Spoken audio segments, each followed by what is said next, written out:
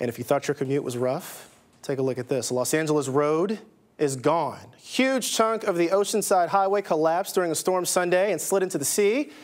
The road had been closed since last spring. No one was hurt.